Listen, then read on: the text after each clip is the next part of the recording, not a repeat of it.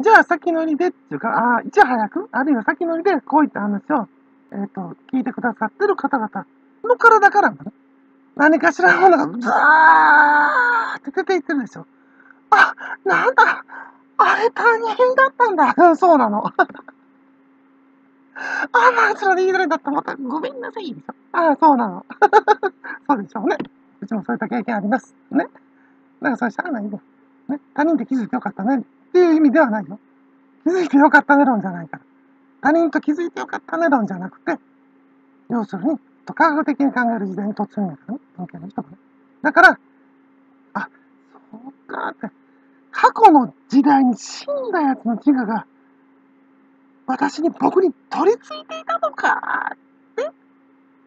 もう新しい時代にはついてこれないっていうか、その体たちでいつ死んだんだろう。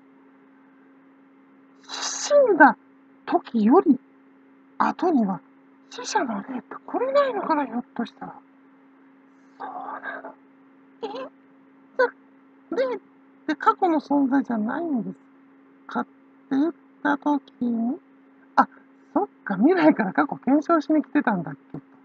え、でも、でもそれだけじゃわからないでしょあ、そっか。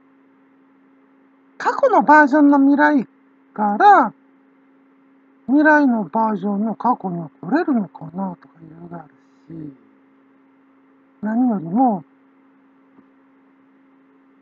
なんで未来に過去と称する霊がいるんだって時に、あ、そっかそっか、過去のバージョンに来てたんだ。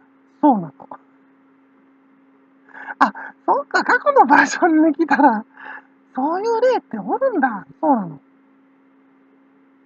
なんだ、じゃあその霊は、その過去のバージョンの過去の例じゃないんだ。その過去のバージョンの未来にいるその過去の例とやらは。そうなの。